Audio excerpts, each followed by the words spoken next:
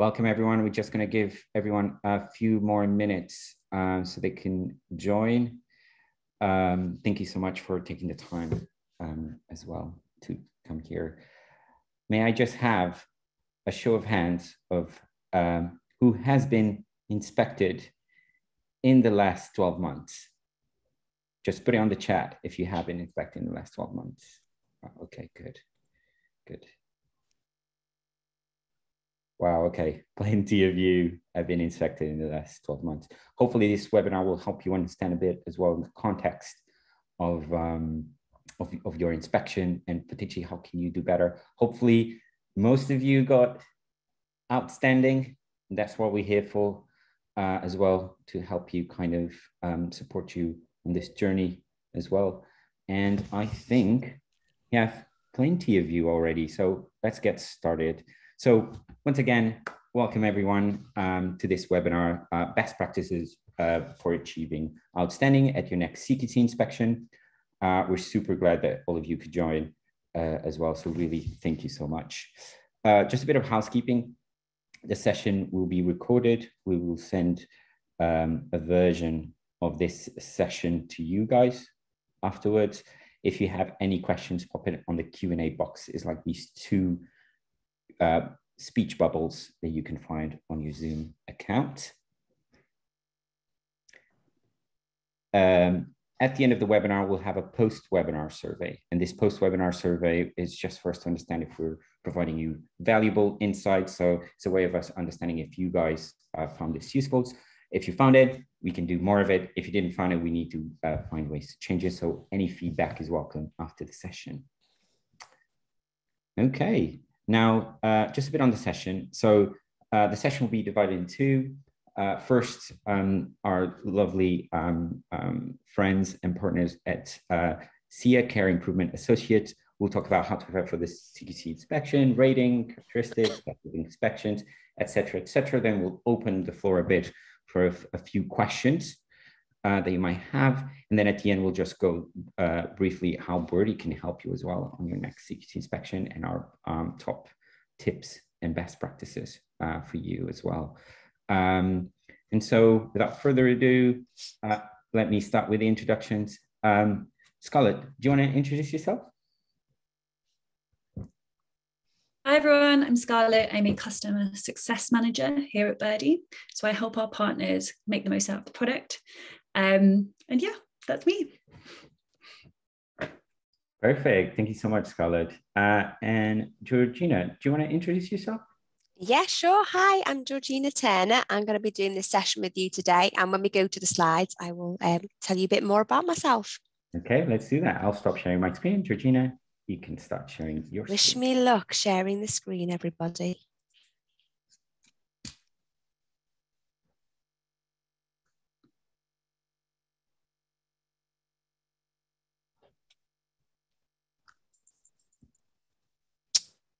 Right, can you see it?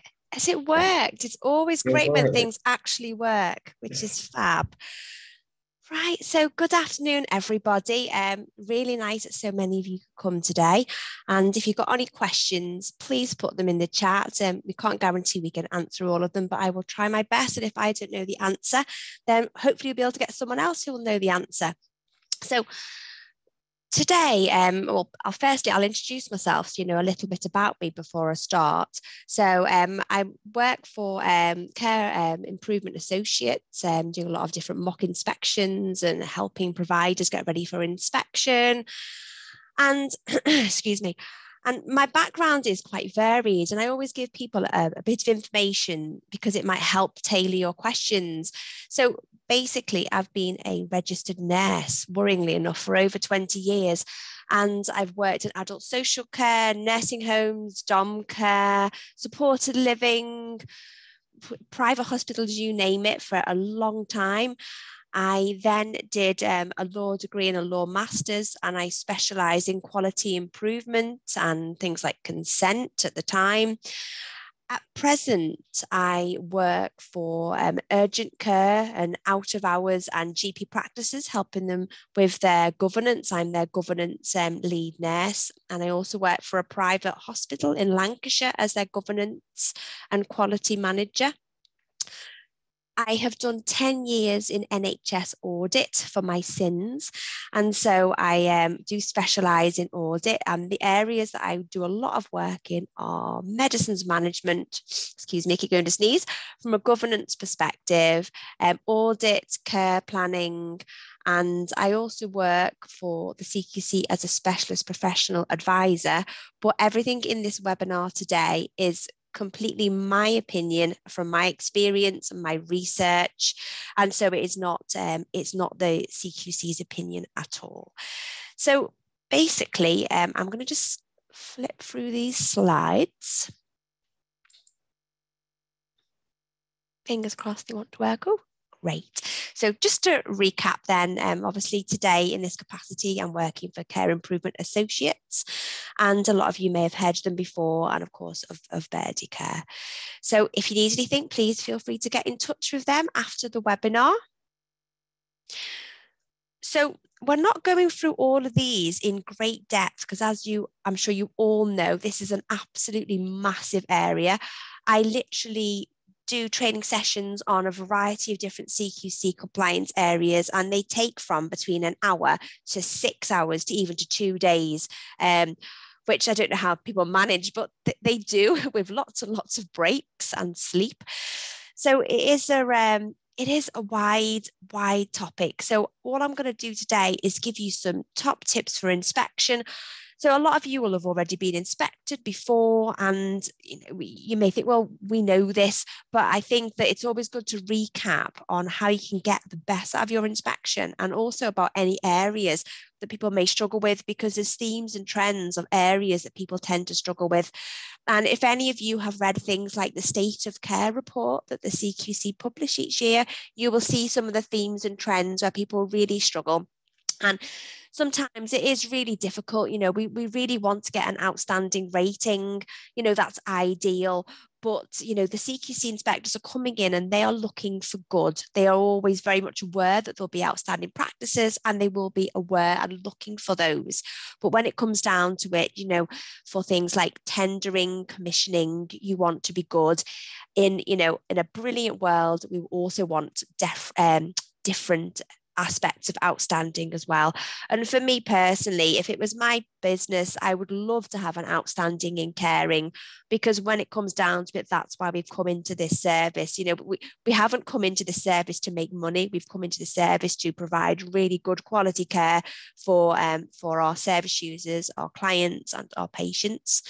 So basically, do excuse me. So I'll go through a few different slides today. And, you know, obviously, feel free, as I said, to put questions in the chat and we can see what we can do to help you. But one thing I always want to make sure people are aware of, and again, a lot of you may know this, there are an awful lot of changes going on in the CQC at the moment, especially around the, I say the new strategy, it's not really new, it's like a year old now, but it feels like it's a new strategy. And I you know, I, I spend a lot of time training on the strategy, but it does take hours. So I'm just not going to be going into that depth in any way at all today. So, one thing I should definitely um, advise people to do is to make sure that you keep up to date with CQC emails. And I know um, I, I, did notice, and I've not seen this before, you had a little thing there where you can raise your hand. Now, I've not seen that on Zoom before. I've obviously not updated my Zoom. But I was wondering, did any of you, uh, you can put in the chat, and if you don't mind, I, I won't go into the chat, but if one of our lovely panel can look at the chat because I'll get myself distracted. Um, have any of you gone to the CQC webinar sessions and were they helpful? Might get some interesting um, chats because they did about three or what four actually a couple of months ago explaining about the new single assessment framework. So I was wondering if anybody went, what they thought of them. And again, as I've mentioned earlier, all the things I'm talking about today are my own opinion and not of the CQCs, again, based on my experience, because I've been doing this sector for quite a while. So we have do we have many people who Yeah, Abby said yes. Um, I think even Abby said it found it useful as well. Uh, Saima also attended as well. Um, yeah, and Sarah also found it um, useful as well. Oh, no, I'm, I'm. That's really good. That's really good to know. At first, I have to say, as I said, the opinions of my own, I found it a little bit confusing because I, for my sins, had to go to four of them because of the different areas that I work in. So I support GP practices one day, then the next day I'll be supporting a, a hospital, the next day I'll be working for a care home. It's so varied. And as we stand right at this moment, as all of you will know who's experienced in this, we've got different frameworks, we've got different key lines of inquiry, different rating characteristics, and it's quite confusing. But as a CQC, you're going to be moving to the single assessment framework. Hopefully, this will help. And it says on the slide here, um, you know, to talk about the key lines of inquiry. Now, I just wanted to double check that you guys are all aware and picked up from the webinars because some of the CQC webinars told you and some of them didn't. That as far as I am aware, the key lines of inquiry are being replaced with quality statements, I and we statements, and they are aimed at good. And they're still being worked on. They're going to be tailored to each service, but the key lines of inquiry, you know, like the hundreds of questions that we have, are going to be um, removed and replaced. I think the problem is when people prepare for inspection using the key lines of inquiry, which a lot of people have done, they are very good, but as a lot of people will probably know, they overlap and cross over. And if you're trying to file evidence based on key lines of inquiry, that can be quite problematic and extremely time consuming.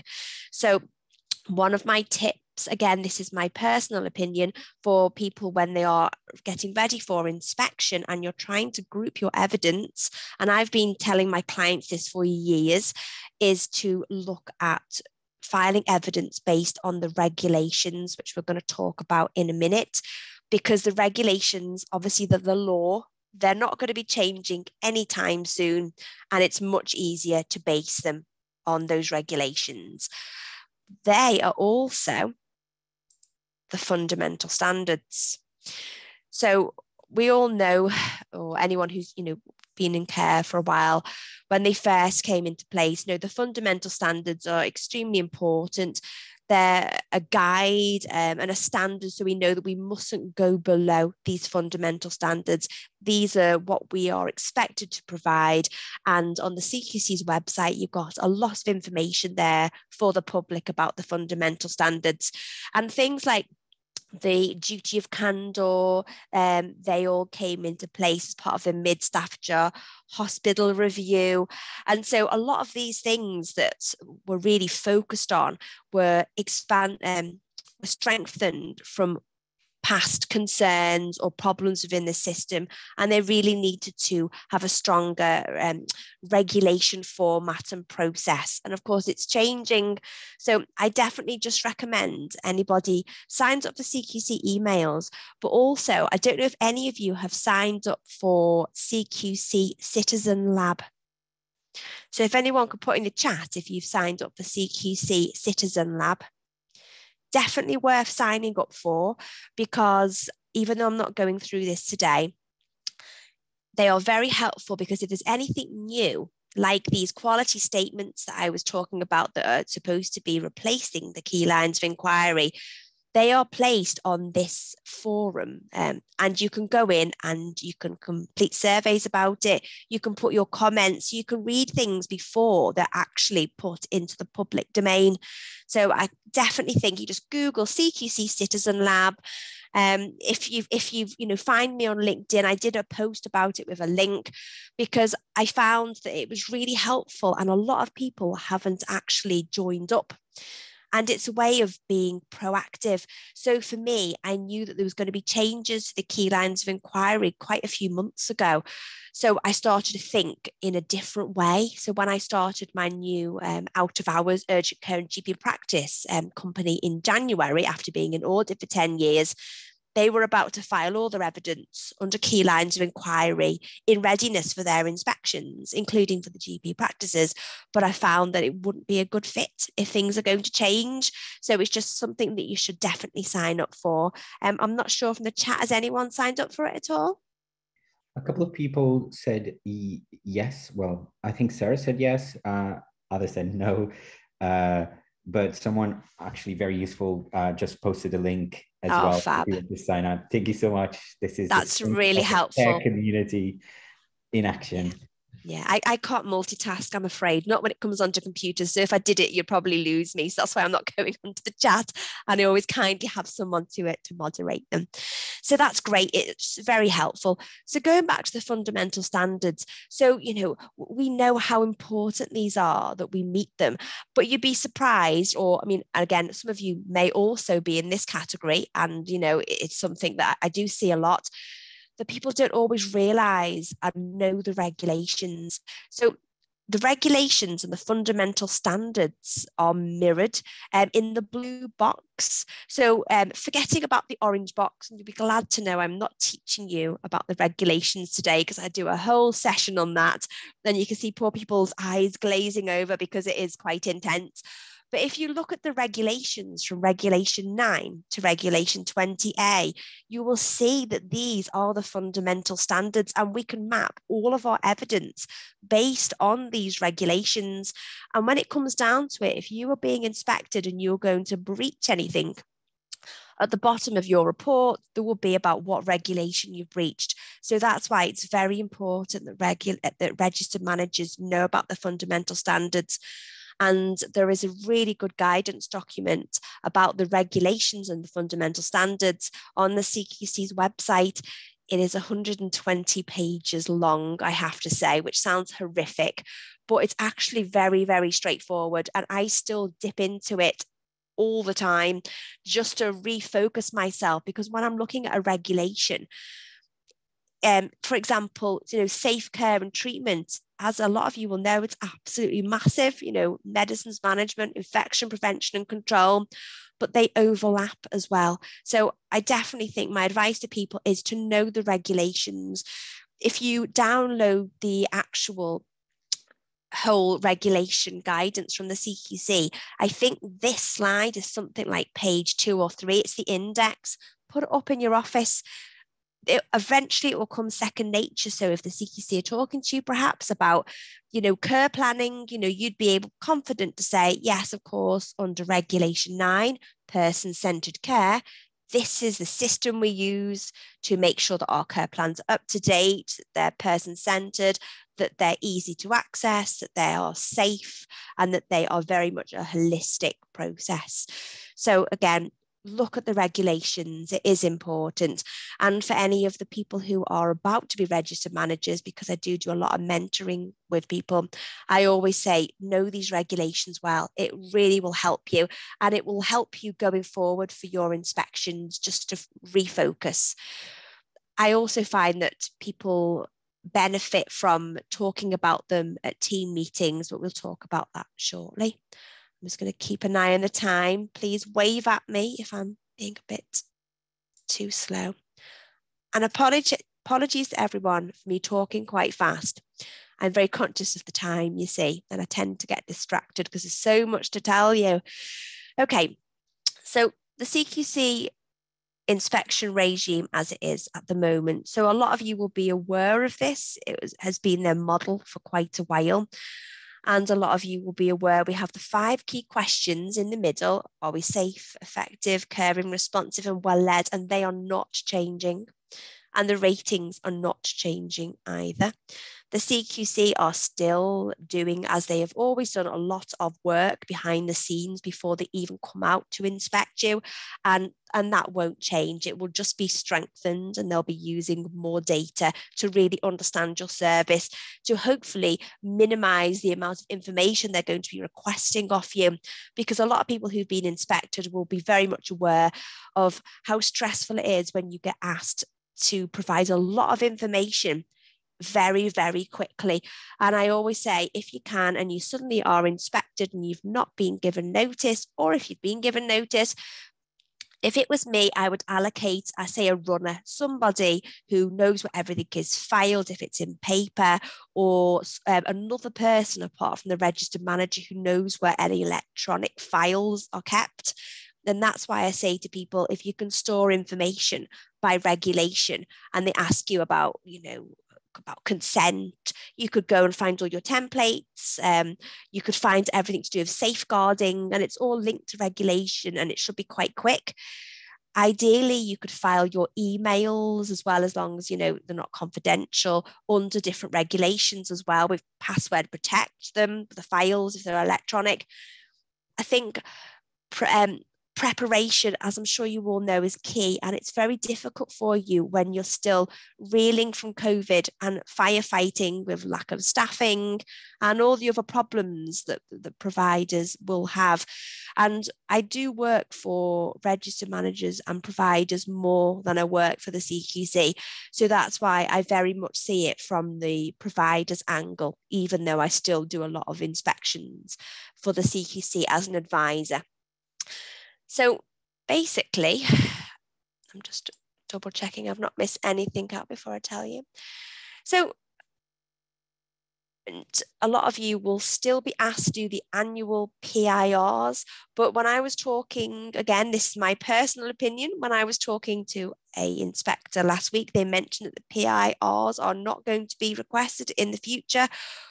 But I said, don't quote me on this, just sort of watch this space, be aware of any updates from the CQC, and obviously please fill them out if you get asked to do them. They are very important documents. Take time to fill them out, make sure that you get someone to help you. Um, if you need any advice, you know, reach out to other providers who filled them in, because that gives the CQC an idea of where you're at at the moment. And it's important to be honest. If there's anything you're struggling with, then you know do mention that in there because i think for example if they came in and found that you know your care plan systems were paper based and they were absolutely awful because you know for many different reasons you know no staff new service whatever it was it's better to say that we've reflected and realized some of our systems and processes aren't as good as we want them to be. But moving forward and by a specific deadline, this is what we're going to be doing.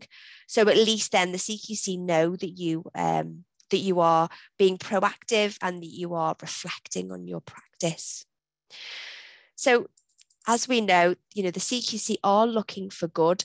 And I think it's always important to remember that the CQC will be talking to, you know, commissioners, if you're involved with charities, you know, they could talk to GP practices or for health professionals other services that interlink with you and the local systems about your service before they inspect because they want to gather a picture about um, any system problems. So, for example, if there's a, a problem with, um, I know I'm being biased here, but with urgent care, then it's going to have a knock-on effect, or GP practices and accessing, it's going to have a knock-on effect on A and E. So they're aware that if there's if there's problems in the hospitals, there could be then problems with um, adult social care, not enough beds. You know, everything is interlinked. They try and get a good picture before they come out. I'm just keeping an eye on the time. Okay. So basically, people you know say, how long do inspections last? Well, again, from my personal opinion, in adult social care, and apologies, I don't know if you're all from that sector, then it could be a day, it could be could be a week. You don't know. I've been to inspections where there's just been one inspector, where there's been the inspector and myself as a professional um, advisor. And I've also been to inspections where, and I am genuinely not joking, there was 10 of us in a, um, a small care home. And that was very, very, very unusual. I've not seen that before. And that was a few years ago. But basically, in the past, a lot of you will be very much aware that if you were if you were good or outstanding, you technically have 30 months until your next inspection. And that was what was written down. That was the, the normal process. And then if you were requires improvements, it would be 12 months. If you were inadequate, um, excuse me, it could be um, six months because you'd be put in special measures. And so we're sort of used to that time scale. But the problem was a lot of people can be complacent and i have supported clients where they got a good and then you know 30 months is a very long time you could have a lot of changes in that time and they, you may um, you know they may not be good anymore i've seen services that were outstanding and then in that 30 month time period they have changed. So things happen and things change. So the CQC were very much aware of this by what I'm getting from the, the research, the webinars I've attended, and from my um, chats with different people. And they're really aiming for the inspections to be more fluid and in real time. So a lot of you would have seen the statements that are put up on the website, CQC website now about your providers. So you know, every month they will um, technically be looking at your data to see if you are um, a high risk, and they will put a statement on the CQC's website, you know, saying that you know there's, there's you know inspections, you know, imminent. They have their specific wording, which escapes me now. So if you haven't been onto your CQC um, inspection page, it's worth just having a look and just to see if something's on there about inspections. And if the CQC are concerned because now it's all going to be based on risk. So they banned them, as far as I'm aware. Um, I did have I did work with an inspector last week, um, but it was a, a different type of inspection. So if you're not high risk, it will just be business as usual, and they'll carry on collecting the data in the background. If you are slightly higher risk, they may contact you and ask you for some extra evidence or any information. Or if there is a big concern, a big risk, they could come and inspect you, they may or may give notice. It is completely up to them and depends on what service that you are with. And excuse me, the ratings are still going to stay the same. So that's good one thing that they CQC have mentioned at the webinars, if anyone else has picked it up, is that they are hoping to clarify and give more information about what really does constitute outstanding, because there is a lot of unclarity out there. So we have the rating characteristics, which are at the back of the current key lines of inquiry, which are still in place and they are still using and that will say what they expect uh, outstanding service provider to be like against the five key questions. So that is how it is now. So please continue to follow that. But apparently, new um, and more detailed information is going to be published by them. So hopefully, that'll be really helpful going forward. Just to recap, if anyone hasn't been inspected before. So again, this is quite short. I mean, how am I doing for time? Sorry. I'm just asking my lovely moderators. Yeah. So um, let's say five more minutes. That's fine. You see, I'm used to doing really long sessions, so I'm trying to be to be brief. Okay. So, you know, we know everyone is, of course, when it comes to adult social care, a lot of people really worry about the CQC inspections, you know, and, and if they haven't been given notice, the ones that where they, they just turn up. And as I said about the preparation is key. Start to look at the evidence you have now and also really think if the registered manager isn't isn't in, they're on holiday, they're sick, what business continuity plans do you have in place? Because it does happen quite a lot. Um, and uh, it's, it's certainly not on purpose, where the CQC will come and inspect for the unannounced inspections and the register manager's not there. And it is really, for me personally, again, my opinion, it's like a single point of failure if the register manager is the only person that can access key documents, evidence, policies, and procedures. So you always need to prepare a backup plan have your business continuity plans in place, make sure they could have about CQC inspection. Who holds the evidence? Where can it be found? Are the people who are on call that you can ring up and say, could you come in and be a runner because the, CQC are here today and we need extra information? And of course, on arrival, I think it's very important to make sure that you know that you find them a safe space to work, and that when you answer the door, I know it's back to basics here, professional, smart uniform if you wear uniforms asking them to just you know to sign in. Um, again everything's changing to do with covid measures and checking the lft tests and we're not going to talk about that today because it is another topic on its own. Make sure you know what's the most up-to-date guidance is before you let anybody into your service. Check their id make you know ask them to wait while you go and get the registered manager or somebody. Um just make sure that they are let in safely. There's been a, quite a few instances on inspections where doors have been propped open and we've been able to just walk in. And these services have had, you know, DoLS in place, and it's been quite concerning. So make sure that you know all the doors are locked as you normally would to keep your client safe.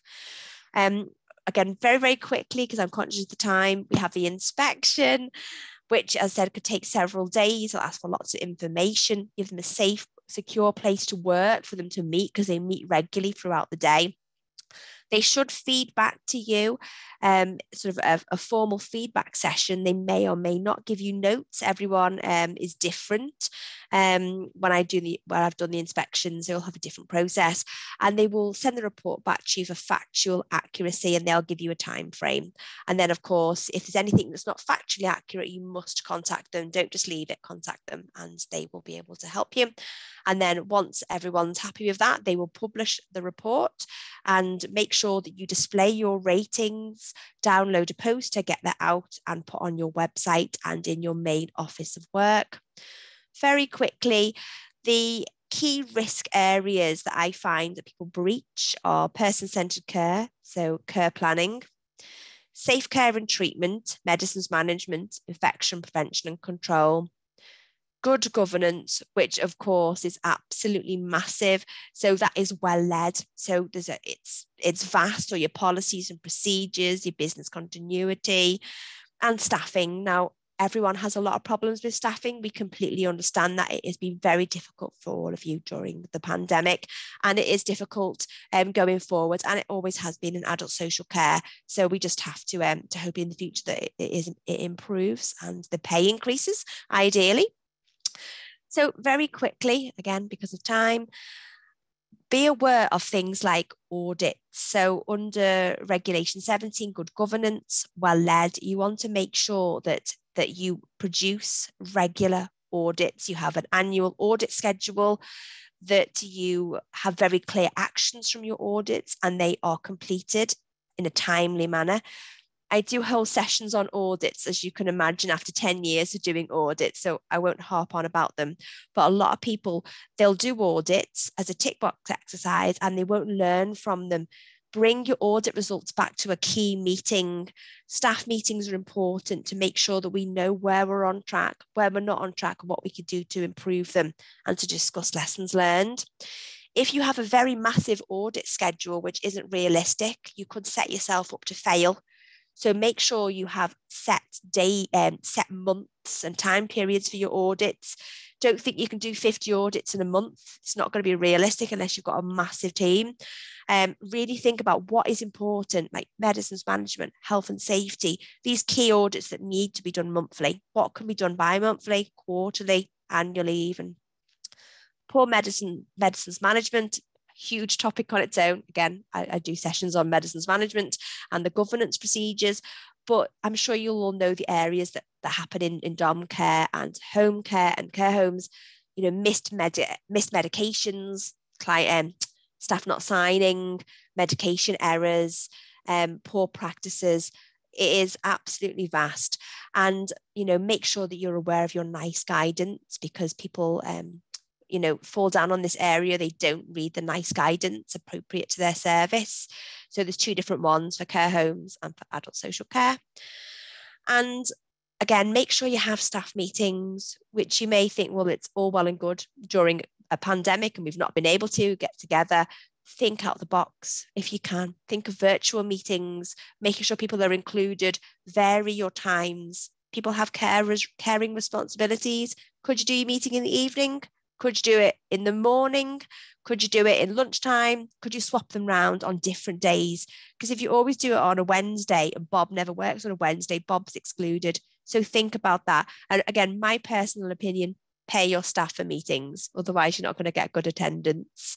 Um, I think that's particularly important. And again, very quickly, because I know I'll have to hand over.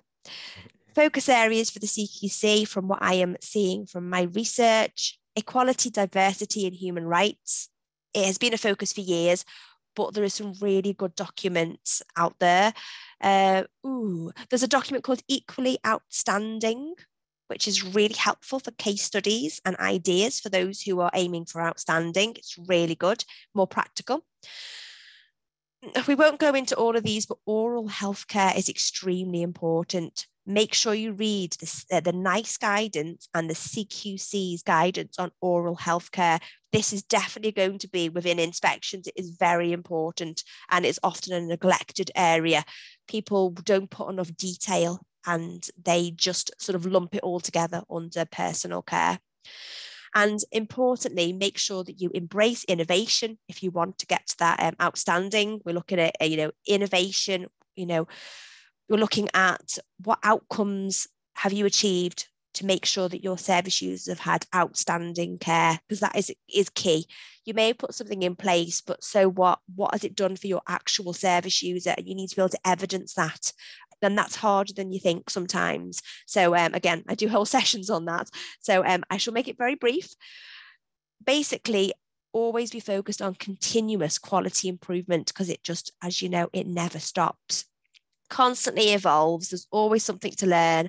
I do this five, six days a week, and I'm constantly learning. So I'm really sorry that was brief, and I hope it has been helpful. And it's very nice to meet you all. Thank you so much, uh, Georgina. Just um, in the interest of time, we're going to move the Q and A for the last bit. Um, but if you do have any questions for Georgina, you can put it on the Q and A box. You can put it on the chat, and we'll see if we have time at the end to answer. Uh, over to you, Scarlett. Great, thank you so much. So I'm going to share my screen. Sorry, Scarlett, would help if I stopped yeah, sharing, no. wouldn't it? Yeah. Is that okay? That's yeah, that's brilliant. Fab. Thank you. Um, okay. So there we go. Um, Georgina, thank you so much. Um, I know all our partners would have found this so, so helpful. Um, a lot of changes, of course, as we heard about the KLOEs and things, a lot to be continue, you know, lot, lot to come about. So, um, you know, we'll do our best to do our research as well and make sure we can support you as much as possible. So, what I'm going to go through quickly is just how we can best support you. So, we like to think of this kind of scenario first um, of how a common kind of CQC scenario could happen. So you're working, CQC calls, you're about to inspect it, you're going to panic. You've got to try and find some reports, try and find what you're missing. It can be time consuming, complicated, and often super manual. What our mission is when it comes to CQC is to try and have a day like this. So you're working, then CQC calls, you're going to inspect it, you relax, you've got Birdie, and you've got the analytics to be able to make sure that you are ready. So when I'm going to just go through quickly kind of the actions and evidence side and then the data and proof side. So the actions and evidence side is what you would do actually on Birdie, you know, every day, kind of your care logs, your MAR charts, things like that. Um, and then we've got the data and the proof. So this is more the analytics side, which I'll then go on to. So again, this is just going to be super, super high level, but I just want to show you the kind of few things that we can really help you with. Firstly, our About Me. Our About Me is a person-centered um, product made based on the KLOEs. And our partners who know us, we build everything from you. This is a prime example. We got our research, we understood what our agencies needed to do to evidence, and we built this, this about me in line with that. Um, the next one that is actually just about to be released is a client feed. This is to help you seamlessly evidence. It's got all of the notes, alerts, visits aggregated into one one place for you to be able to action and see. We've then got our care assessments. So we just heard about how important oral hygiene is and oral care. This is how you can start to create, well, write assessments based on this in a timely and effective way that you will then be able to audit quickly, update, and evidence. We've then got our visit planning feature. So this is about tailoring and making really responsive uh, and person-centered visit plans, scheduling tasks and medications to certain times and dates. You're able to schedule what should be done and what should not be done. And that's also what's going to later come into the auditing. But the most important part here is that we really try and work to make sure that you are safe by not allowing carers to check out of a visit until all medication has been recorded really trying to reduce your time auditing later and just capturing everything instantly. Um, and again, this is just looking at what we can see, what has been done and not done. So that's kind of the actions and evidence based on the agency hub that I wanted to show you. But then we've got things on the auditing side and the care auditing side. And we've done a lot of research onto this and we've realized there's a lot of problems that our agencies can encounter. It can be so hard to keep tabs on everything. Um, business management could be deprioritized because you're really trying to sort out one thing at a time. It can be time consuming multiple systems um yeah that that says it all doesn't it? Paper based maybe some bit on one computer. Really trying to bring this again together for you to really reduce this pain. Lastly it's costly. You know we really want to enhance your profitability by using birdie and working so you can work in an efficient way as well and so this is where the birdie analytics come into so you have a series of dashboards and enable you to audit retrospectively or also lifetime. So pulling out, okay, I want to look at all my clients who've had refused medication today. You're able to do that. Or, for example, you want to look at the last six months where some tasks have not been completed. This is what the tool will enable you to do. Most importantly, we've built a Q score, which um, really helps our agencies with CQC. So this is built in lines with the KLOEs, but of course, as we know, there's a lot of change in things, but we still believe that um, it can give you a good insight into what's going on. Apologies so for that, Scarlett. No worries. this this is just a heads up. It's just a heads up. So you know, to do keep using the KLOEs because just what I hadn't said, and I'm sorry to interrupt you, that they're not they're doing pilots quarter three this year, apparently, looking at these changes. And it won't be till spring next year. So please carry on everybody as you are. This is just going forward. I am always thinking about the future. So Brilliant. Sorry, Scarlett, I shall be quiet. No, that's good. No, thanks for interjecting there because yeah, that's really great to know. So yeah, we can all keep keep on our toes. Um, but for now, this Q score can be super, super useful. Um, so it breaks down into care delivery and care planning. How can you make sure that all your clients' care plans have person-centered notes, are recently updated with care tasks? And this is exactly where you can start to begin this journey. Um, and so with that in mind, we hope that your version of Tuesday would be this with everything you need. But it doesn't stop there. We really have a team that's going to support you as well. So you have your onboarding team. They help you implement Birdie. You know, they're really they're, they're there on hand. We then have your support, our support team, who are best in the industry with less than 10 minute response time during working hours. So this is where you can really make sure your carers are on top of using the app. Um, and then lastly, we've got us. So we're really here to do the kind of webinars like this, where we'll be doing more on the Q score, Birdie Analytics, more CQC stuff yet to come. Um, and that's it from me.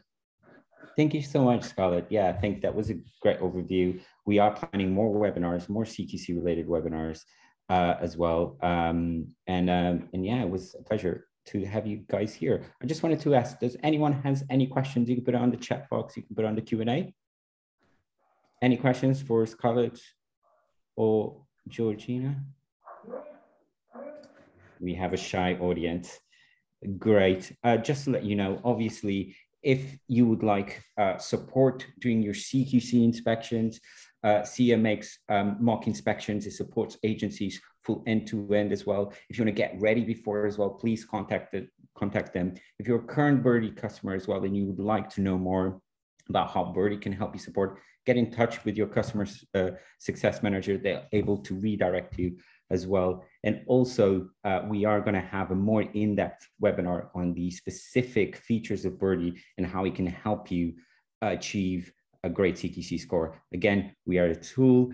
You do amazing work. We're just here to help you evidence that amazing work that you do. Uh, and with the right advice, with people from people like uh, Georgina, you are able to be outstanding. I don't think it should be anyone's ambition not to be outstanding as well. And I know you all want to be. It's just the evidence and the whole process is just a burden on top of all your other responsibilities.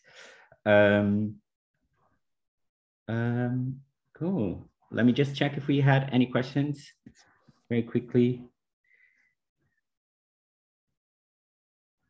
Okay, when I queried about uh, care auditing, um, how can we do this in, in Birdie? Adriana Kokut um, asked um, Scarlett.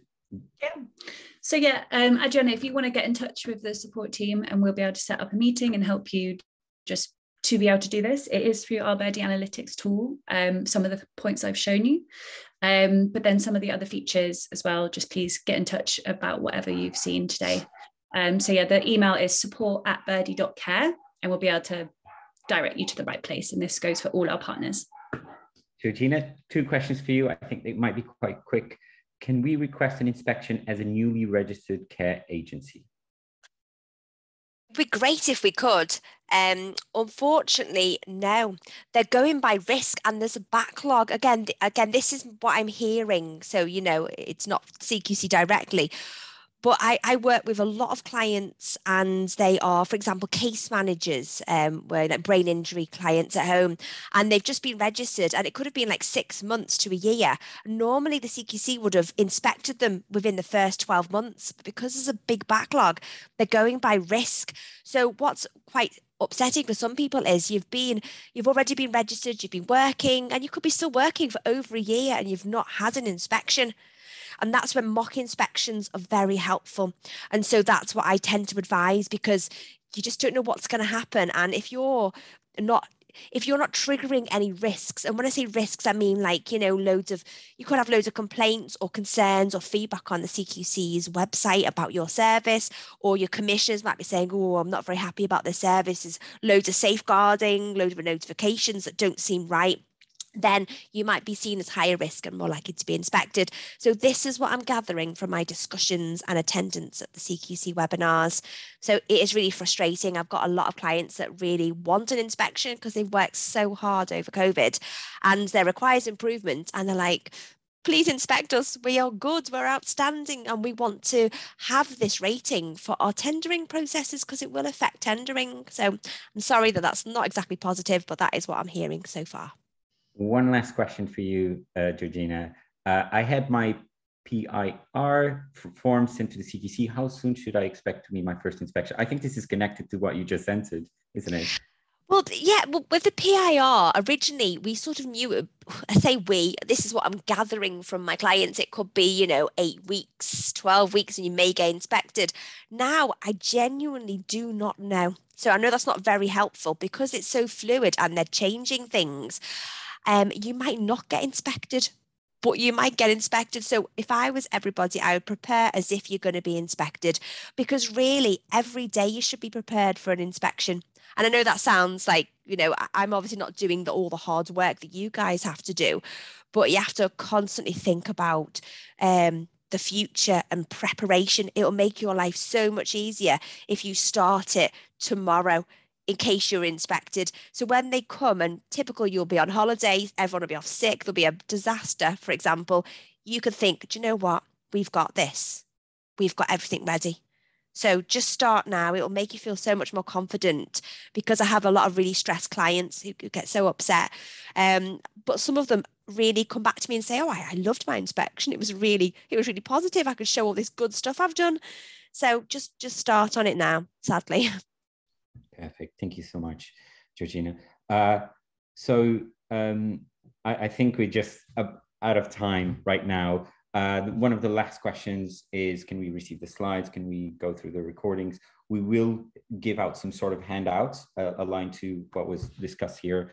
Uh, I think there will be no problem about sending you as well the slides as well on, on this one, so that should be fine.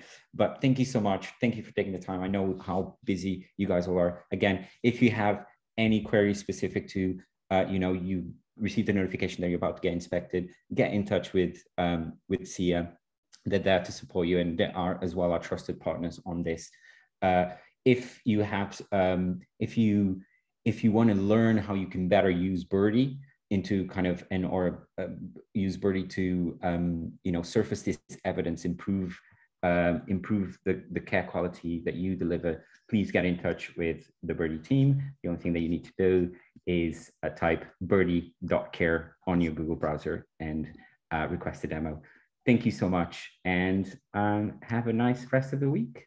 Thank you. Bye. Thanks all. Bye.